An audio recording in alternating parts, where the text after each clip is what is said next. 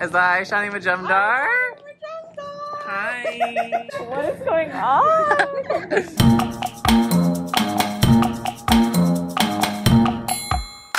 Hi, Mitch. Hi. I missed you. You look so pretty. How are you? You. Say hi. Is your first day back at work? No, no, no, no. Oh, No, I come like two or three times a month. more than that, I hope. Huh? never mind, never mind, never mind, never mind, never mind. You're so disgusting. you look like a corporate woman. Do I? You are a corporate woman. I am. We were just joking that we look like we have like somewhere to be, Yeah. but we're just meeting our corporate friends. I'm the boring one with the job and the, uh, you know. Oh. I'm the boring employed one. Yeah. These are you guys are my quirky friends. Yeah, exactly. Y'all are having the time of your life.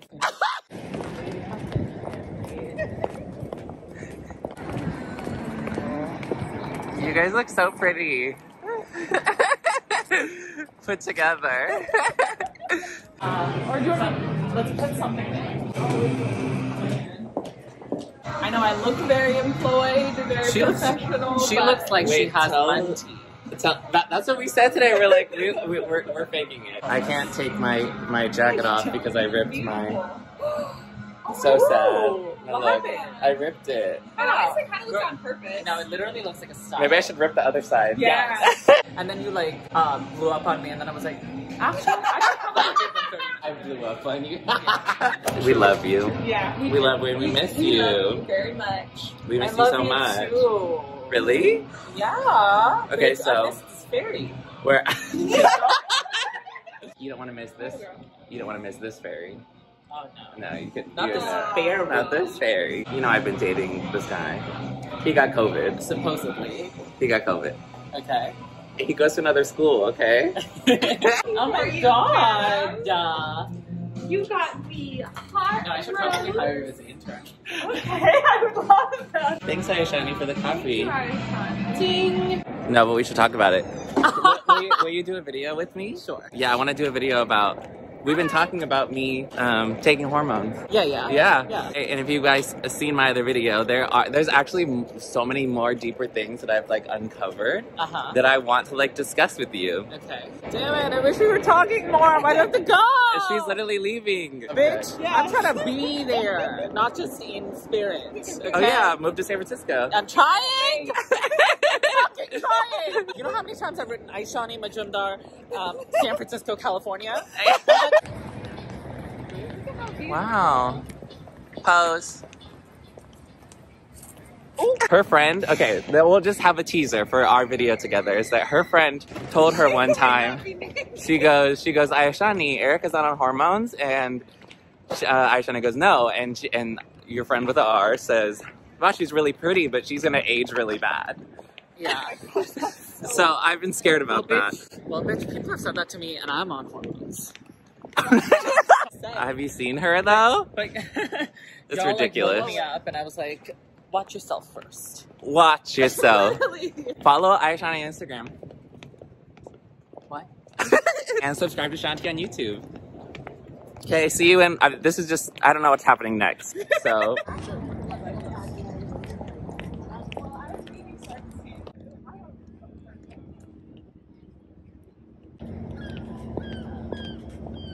Block your tea before you come for me. Get your lippies on, girl. It made a huge difference. oh, oh wow. I invited my cis friend Yeah. to speak on trans issues. Right. Yeah. And Yeah. like she like had a trans roommate once. Yeah. And like she just like absorbed all the She- knowledge. She's been to Pride. Right. Yeah. Are you like giving it to me? I'm giving it. What's up, you guys? It's Erica Madera. I'm back. You know I never leave you alone. Did I already do the intro in the first part of the video? I don't remember. Mm-mm. Um, I manifested it really fast, and she's already doing the video about the hormones with me. Look who I got. Um, you know Aishani. You guys probably, I don't know if you know. Well, if you've seen the Castro video, then you know. I'm here with my trans friend. Is that weird to say? Ah! Did I out you? Not you clocking my tea. Did I just out you? Are you Are you my trans sister? so I wanted to make a video about like an even deeper dive into why I'm so scared about taking hormones. Um, so we have our expert maiden in hormone therapy here, Aishani Majumdar. Woo! Do you want to tell people about like your journey? It's very like formal. I'm literally the transgender chick right now, like I know. interviewing like right. trans scholars. I gotta tell them about. Trinity Williams.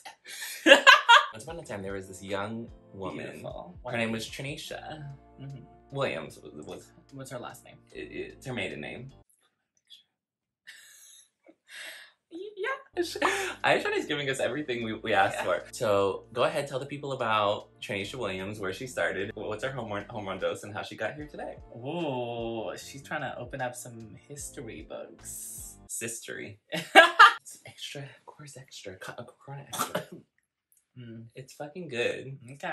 Alright. I'm a dark beer girl. You used to be a dark beard girl. We pop it up? Yes. there once lived a girl. She lived all over the world, really. And she wanted boobies. she, she, she wanted womanhood. She first started by moving to America. Check, check. She had a to do list, Mm. as you do with any project. She wanted to be a woman of the United States of America. And she's here. Yeah. So it took, it took a long journey, actually. I socially transitioned long before I started medical transition. Partly because I was an immigrant, partly because I was not financially independent. And then, you know, figure out the hormone stuff and like, and the medical transition, which like seems so scary because like, where I grew up, people called it sex change. Yeah, that's a lot. That's a lot. Yeah, yeah. Gender reassignment surgery, gender Yeah. affirmation surgery, you know, euphemisms. Uh, I kind of existed in this middle ground where I was dressing as a woman and, you know, figuring out my style, my aesthetic, my existence as a woman, you know, figuring out experimenting with makeup and hair and clothes and mannerisms and everything. It was like four years before I took. oh, well, that, I have a similar situation. Yeah, it was like four years. We'll get into that later. Yeah, yeah. I was scared and I was trying to figure out, um, you know, the social transition piece. Originally thought I was like a femme gay boy, but clearly that's No. no. And we'll, In what world? remember, like, years ago, uh, was it Shanti that called you fabulous? Yeah. And I was like, Um, literally, anyone who calls me fabulous, I like gag a little bit. It's a little like- drag queen. Yeah. And I feel like most trans girls that I know. Yeah, we're getting that. you real solid tips, like how Yeah, to yeah. interact with Don't call a people. trans girl fabulous. No matter what kind of journey she's on, no matter if she looks like a brick or a cis passing ally, do not call her fabulous. Block your teeth before you come for me. Block your tea before you come for me. I started hormones. Um, Four years in. damn, she's like cutting to the story. Are you, you gonna let me tell tell the story? This is my channel. I got a job after graduation. I came here for college. And then I was like, okay, this is my final ticket to fund my own transition. This vision and this goal of this woman I wanted to be. And I was embodying even before medical transition. And I refused to be treated any other way. Like I was a woman first, trans was part of a descriptor word for the journey that got me to that. I say woman of trans experience because woman first is what I identified, and it's different for other girls, and it's uh, different for other. Yeah, I identify members. as a YouTuber first. Y- yeah. Then Yeah. Then trans. Then, then, then like all the other things. yeah, whatever else. But I know girls who identify as trans first and other things later, and that's really just how you see yourself. We were even talking about it yesterday about like I don't I don't identify as a female, but I'm a Mhm. woman, but I'm not a female. It's how It's how you see it. words ring in your identity. That's the beautiful part about this world. You're able to define that because language What about is this made up. country? Yes, this country. But like Yeah. this, yeah, world. yeah. Okay. Language, like we made that shit up. And we'll do it again. And we'll do it again. Yeah. For me, it was like the person I wanted to be rather than a checklist of things. Mm. It was a vision. Like I want my life to be like this as a woman and not so much I want size D titties. Right. You know? So my checklist was different. Yeah. It's different for everyone. But I think that's what drew us together. We, we Yeah. met we met on Grindr, by the way. Oh. we, we weren't trying to have sex. Let's make that clear. She just saw that I was graduating from Berkeley and she was like, Girl, me too. For me too. Um, but we had our graduation stoles and our like Grindr And pictures because we wanted to show that we're educated women. That's what drew us to each other. And but I also think it's a good message too. Yeah, Um, I agree. Like, what's your overall big picture mission and vision that you're working towards rather than just having this pursuit of one body? Yeah, Your hormone regimen and your surgeries. Well, yeah, We're like, is already a lot. checklist is like bad, but like, here's my checklist. that doesn't mean that just because it wasn't your first party doesn't mean it wasn't a Yeah. very important big part of your life. yeah, exactly, and that's what I say. Like my body, my body was important. It had a big picture vision around it as well. It had context, if you will. Yeah, I started hormones four years after social transitioning. I was so scared of it. Mhm. I went through laser hair removal before I started hormones. Mhm. And at least I want to get rid of my facial hair. That was important for me. That's yeah, that's the only Yeah. medical thing that I've done. It just has to be done, Yeah, and has it, and it also doesn't change that much about you. Let's it's like a it haircut. It's a permanent haircut. So I did that, and I, you know, used to talk to my endocrinologist, and she made sure that I had all the resources available to me. She would make sure that I knew that I had access to hormones if I wanted it. I loved her for it. That was in Berkeley. She, yeah, she was my first like.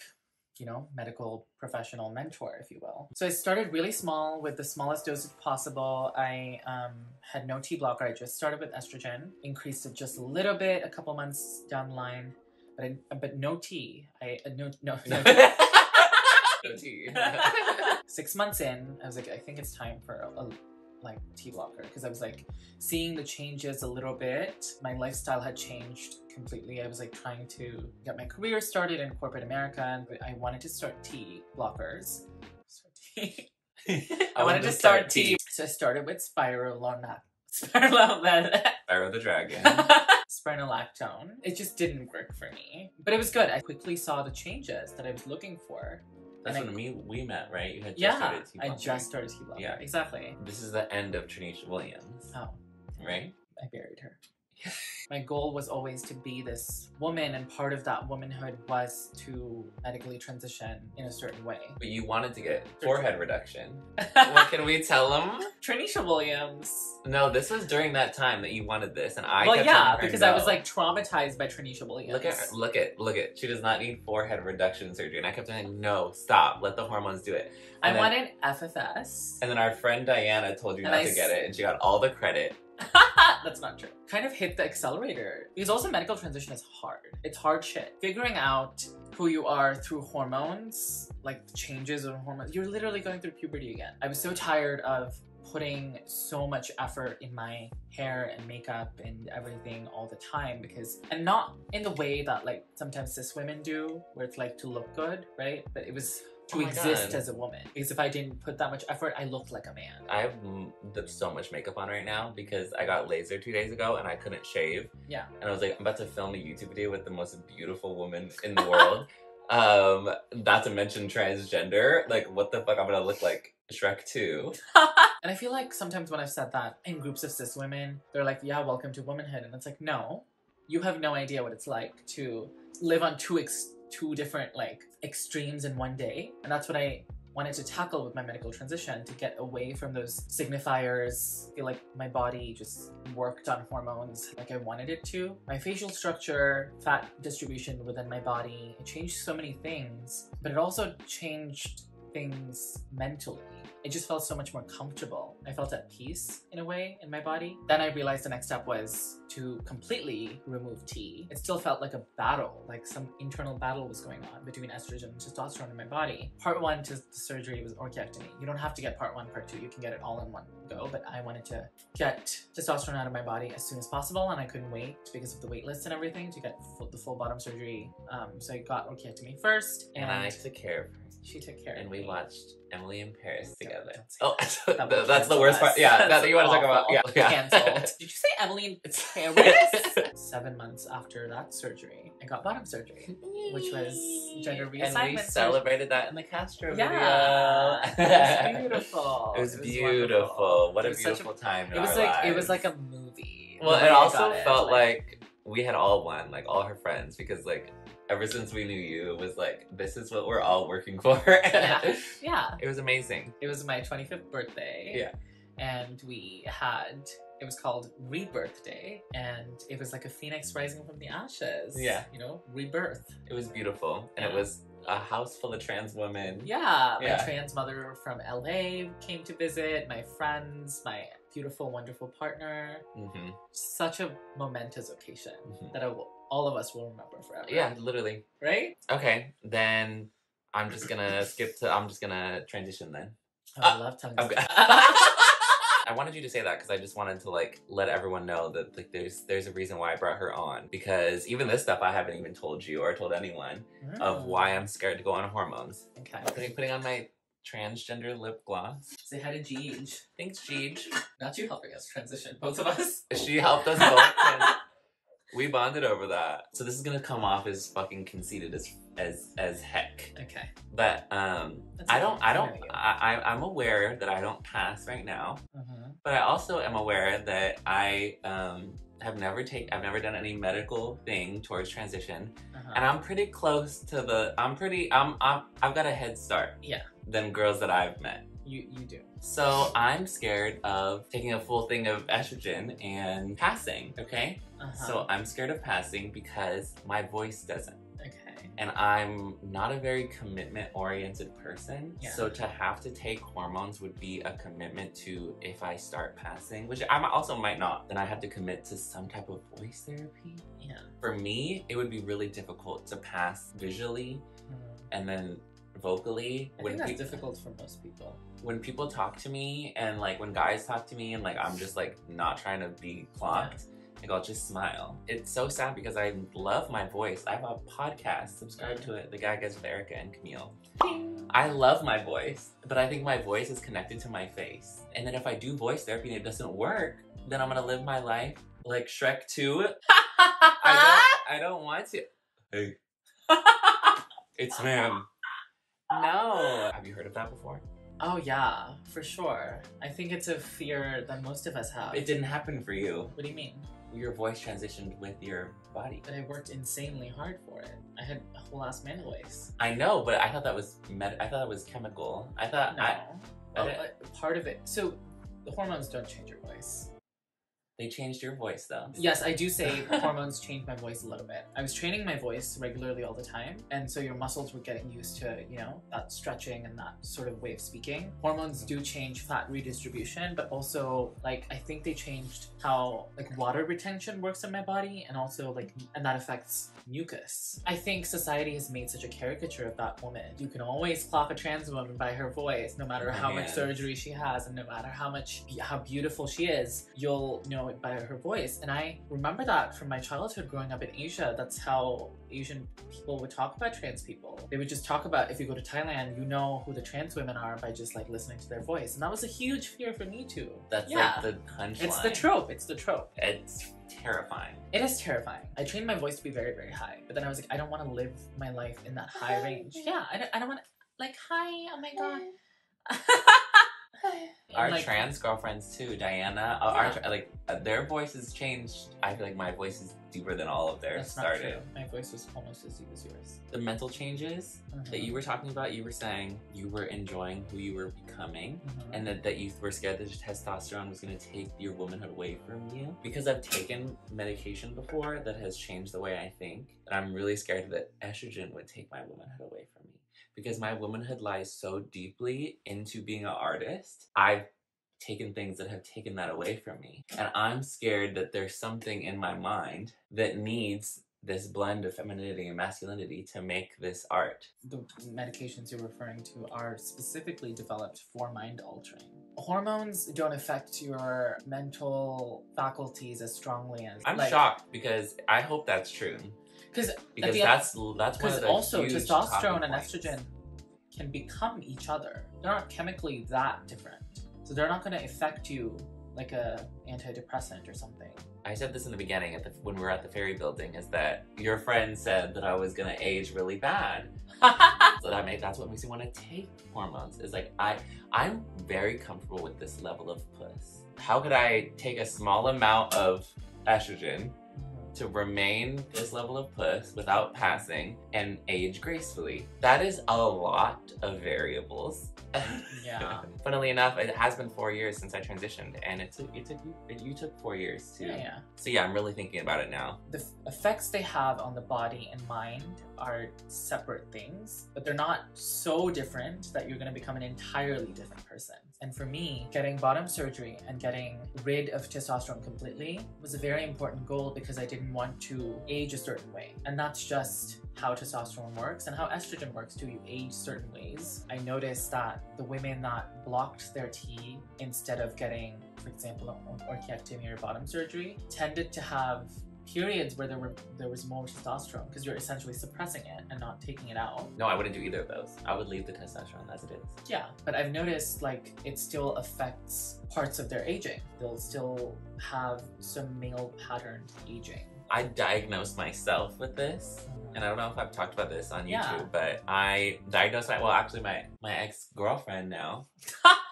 my ex trans girlfriend. Uh huh. She was the one that saw it on House MD on the show and was like, I think you have Kallmann syndrome. So I don't have a sense of smell, uh, and when I do, it's very, very, very low. Like I didn't know that nail polish remover had a scent for the longest time because it's That's crazy. it looks like water. Through other senses is one where I deduct like what smells like what. Like having a really low or no sense of smell is a side effect of having extremely low hormone levels. And the cure for this thing is hormone replacement therapy. I would smell a whole new world. Um, and I knew someone was coming from. And then another thing is like supposedly osteoporosis is like a really big side effect. women in women, menopause have osteoporosis because of that reason. And so I think that's what I have. I'm not gonna get it just get tested. To, tested. I'm not gonna get tested because I don't want. I don't want a test to be like you're a man. Plus, I'm transgender. Like I feel like I have low hormone levels. And Camille said, you know, bitch, you're already 28. Like, how much is your face gonna change? Like, this is. surprised. Well, that's what I'm scared. I don't want to be surprised. it's like too much to think about, and I and I'm so slow at everything, and I'm just like But, I I don't want to make the wrong decision.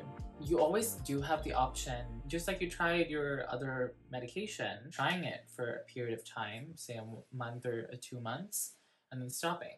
I know tons of women who've done that. Yeah, I could see myself doing that if I needed to. It's a very slow process. I just think that all of the women around me that have taken these hormones have had an extremely drastic reaction. In what way? I mean, they become cisgender looking.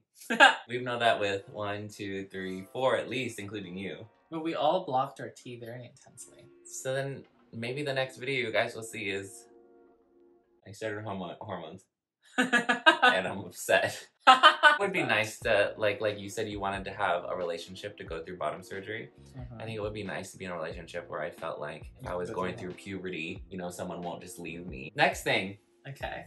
what is like a She funny thing? This is the trans agenda. Texas Texas governor probably hates us. Oh my, but like secretly loves it. He's a chaser.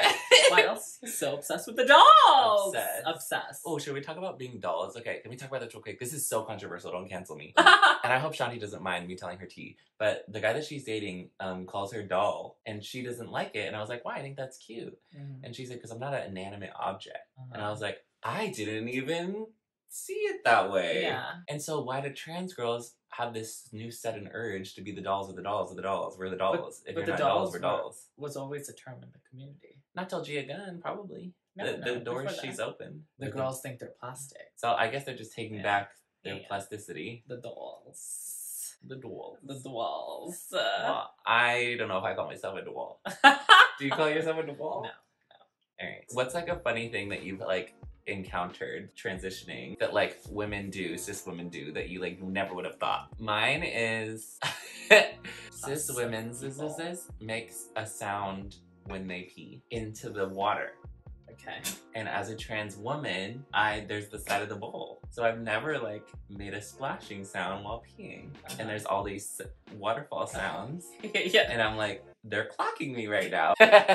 So I can talk about that because I've been on both sides of the spectrum now. True. Pre-op, I mean, yes, there's the side of the bowl, but like if you don't pee in the side of the bowl, then it makes a really loud noise because it's like gravity. You know, it's like falling from like the From the sky. Now that I'm like on the other side of the chicken. spectrum, I make the loudest noise possible you go in there with a it's like a waterfall.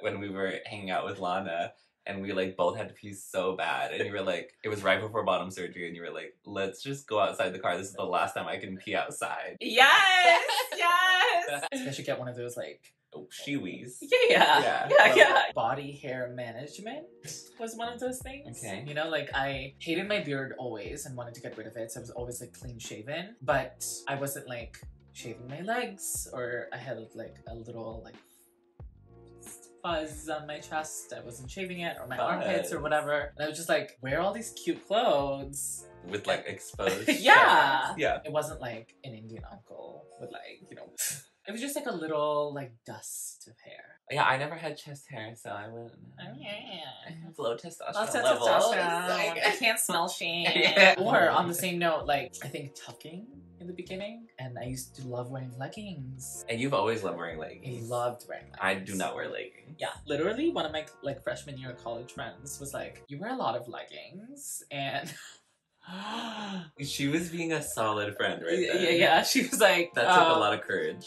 Thanks, so. She was like, "You're very brave to just like walk around like that." And then I started wearing like long t-shirts Yeah, yeah, yeah, and stuff that like went to my knees. Yeah, yeah. And I was like, "It's just a style." Okay, guys, um, that's gonna be it for this journey, this hormone journey, uh, this this transition journey. We're like, who's trans? Oh yeah, I actually, I'm actually turning. I'm gonna, I'm gonna become a man. Uh, I Is that- support you. Yeah, I do kind of. Does it kind of like? I support you. It's does that change difficult. things? Yeah. um, thank you guys so much for watching. Um, please follow Aishani on Instagram. Um, subscribe to my podcast on Apple Podcast. It's called The Gag Is with Erica and Camille. Follow me on Instagram. Subscribe to the channel. Have you heard this this little part? Um, if if you believe in life after love, share this video with your friends. Uh, it's kind of funny. Um, tune in for the next for the next hormone update. Hormone up. I'm growing boobies. Cut that out. Bye, guys. Bye. Cut, cut that out. That's what they did to you. You went to the doctor. It's like, cut that out. Uh, uh, We gotta go. We gotta go. Ah!